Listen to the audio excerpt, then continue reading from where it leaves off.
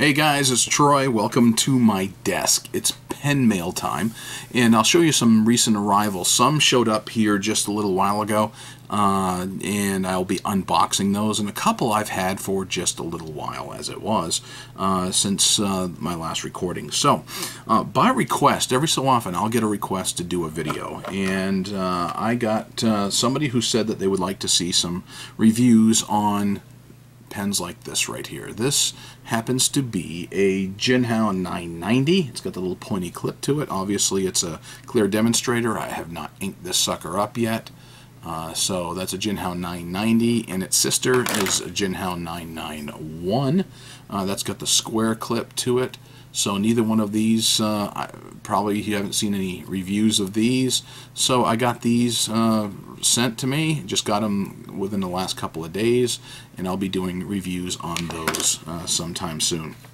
Now, Waterman CFs. I really like Waterman CF pens, and one of the things about it is uh, you kind of need ink cartridges to go in them. Um, I looked previously, and I wish I had bought them, but there are converters, and there was one website that had them for about uh, $12 a piece. I wish I had bought them when I had the opportunity, because I went back later on and said, okay, it's time to go buy them, and they weren't carrying them at all. Uh, since they weren't carrying them at all, um, then ah poo, you know. Uh, and then other websites had them for 25 30 35 dollars a piece. So I like my Waterman CFs. And these cartridges, the thing is, because they're old, you know, CFs aren't really around anymore. But you get these, and you're going to find that a good amount of ink has already been evaporated out of those. I don't care about that because what I'm going to do is puncture them. I'm going to flush them out and I'm going to fill them with ink that I want to have in them. So I don't really care what color ink is in the cartridges. I don't care anything about um, using the original ink. I'm going to take these, puncture them, flush them, put what I want, and uh, fill my Waterman CFs. So uh, those are the ones that have shown, shown up here recently. On another one of my videos here recently, I talked about um, an Osmiroid, and I'm pretty sure that this is what it's going to be. I'd gone to a, um, uh, when I was traveling for work, on my way home I took a quick stop at a uh, an antique shop and they had an Osmiroid for sale and uh, it was the only fountain pen in the entire store. So I took a look at it and they wanted $38 for it. I said, nah, that's a little expensive. I'm not going to pay no 38 bucks. This particular package here came out of uh, Salem, New Hampshire. And uh, I'm a New Hampshire boy. I grew up uh, in New Hampshire. I know where Salem is. There's a second pen, or second or third pen I've ordered from actually a seller uh, that comes out of uh, New Hamster, as I affectionately call them. So that's where I grew up. Uh, before I moved to North Carolina, that's where I lived.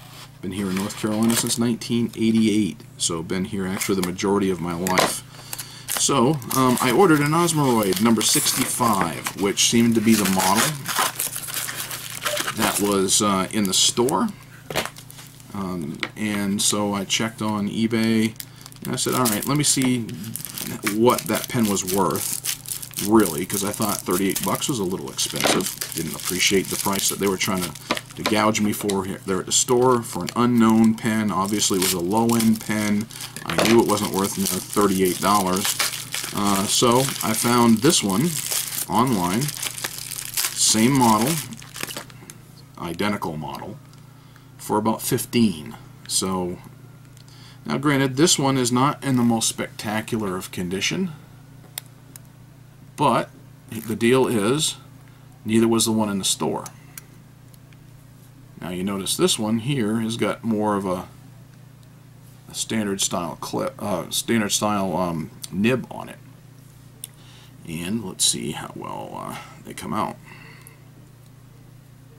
because Osmiroids are supposed to be much like Esterbrooks and that the nib should unscrew. So I can get it out, but you can see there's some old ink and goo, and that's what I expect when I get a uh, when I get an old pen. So I'm going to take that apart. Um, I'm going to clean this sucker up, try to get it back to its former glory a little bit. It probably needs a, a, new sack. That wouldn't surprise me either. So let's see. I don't know.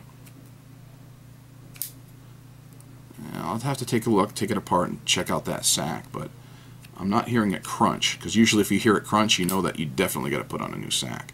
But I have ink sacks in stock here, um, a couple different sizes. So that's my Osmiroid 65. It's a different nib on it than uh, than it was on the other. The uh, the one that I've seen in the store had like a burn or a scorch mark, and it was just beat to snot. But this one here is an English-made uh, low-end fountain pen. So I wasn't going to pay no $38 for it, so that was for 15 So let's move on to, uh, as I throw this in the trash can next to me, let's move on to the purchase that I made a couple days ago that just showed up here. See, I got this. Um, I decided to go ahead and try Goulet pens again. Um, when they had Fountain Pen Day, they kind of ticked me off because their online uh, system was really messing up on the prices that were being charged for uh, their ink samples. They were doing like an ink sample palooza deal.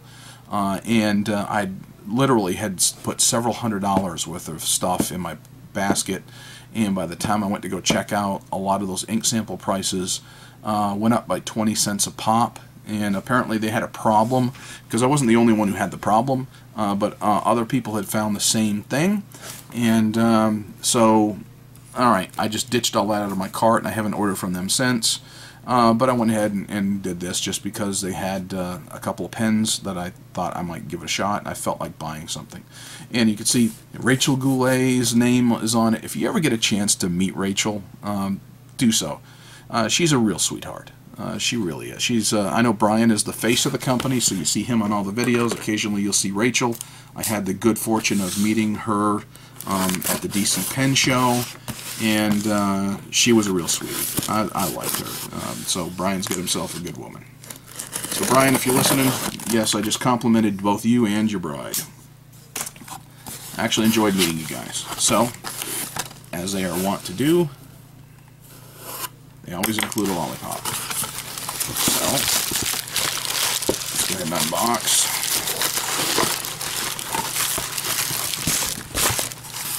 And let's see what kind of stuff they threw in.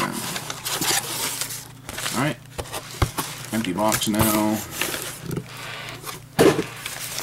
Alright, they had these little note cards that they uh, use and they sell, so for they had these on clearance for a couple of bucks. I went ahead and, and got some note cards. Uh, let's see. Thank you for your support. Standard. They always handwrite a note. Uh, that's in there. So that's Blue Pearl, in case you're wondering. And you see these note cards. They, they write them on the back of these. So they started selling those. Bubble wrap. I always keep the bubble wrap. You know why? Just the other day I had to send some stuff um, across country and uh, for work. Instead of throwing it away, I keep it.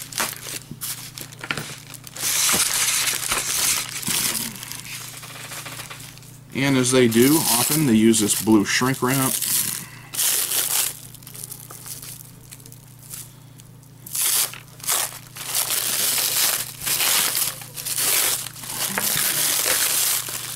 One of my kids will get a lollipop later on.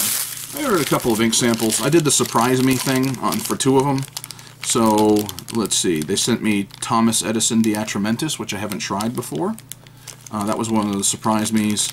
I did order Visconti Blue. I specified that one since I hadn't tried that one yet. Uh, Pelikan Edelstein Aquamarine must have been the other surprise me uh, because no no no Diamine Golden Honey. Maybe I did three surprise me's because none of them look like what I'd ordered. So let me check on that. Matter of fact, let me look here. The invoice. Ink sample surprise me. Three of them. Yep, Okay, I only ordered uh, Visconti Blue, and the rest were surprise me's. Ah, here we go. This one here um, is a uh, preppy, but it, what it is, it is a marker.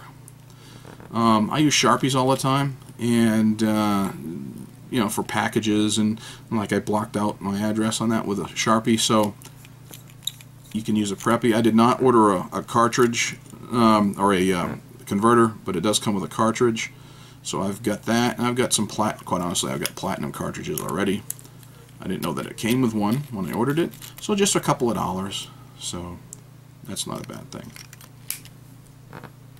So I got a marker. Lamy. You can always tell that distinctive Lamy box. Brand new pen that just hit the market, the Lamy Nexx, N-E-X. X. Let's take a look. Should remind you of something. I don't know about you guys. That looks like a Faber-Castell Loom. So, let's see. They did include a uh, cartridge.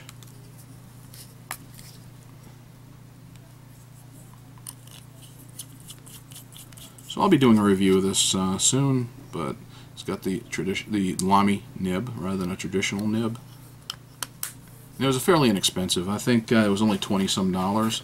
So let me take a look. The Lamy Nexx, oh, it was $31.60 including a converter. So I paid the extra several dollars to get a converter, uh, hence the $30 on price tag. So there's the converter. And Conklin. You know, I was uh, leery of ordering it. Um, when Conklin uh, comes out with a pen, I, between Conklin and Monteverde, all by the same company, I've had some problems with nibs, and I have been hesitant to order nibs. Uh, or pens because of the nibs. I don't feel like having to fix them. I don't feel like having to uh, to smooth them or having to fix flow problems with them. This one I went ahead and broke down and got. Now I've been wanting, you know, I've got a Duragraph and, cracked ice, uh, which I've had, which is halfway decent. Um, this, however, um, a little while ago, when they were trying to come out with this color, I do believe, they uh, made a mistake in the um, acrylic, and they ended up with kind of a, uh, a wine colored. So um, uh, they had snatched them up at Goulet market and sold them for like 35 bucks, fairly dirt cheap, and they called it the Merlot. And I was going to snatch one of those up. Actually, there were still some in stock at the time. I said, nah, I don't know. But what I really wanted, though, was the Purple Nights. So if you're familiar with the Duragraph, you've seen some of these recently in orange. Um, the Merlot was a good looking one, it's a lot lighter color, but purple is one of my favorite colors. One of my wife's favorites too. Actually, I think it is our favorite color for us both. So I went ahead and I ordered the Duragraph in the Purple Nights. So I'll be doing a full review of that eventually. But as you can see, I'm just now getting it because it was just in the box. So let me shove that back in. Close that up. Alright, that's my uh, unboxing of some of my uh, pens.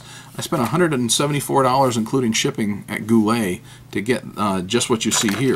So for you know, this stuff here and note cards, that's a hundred bucks shipped.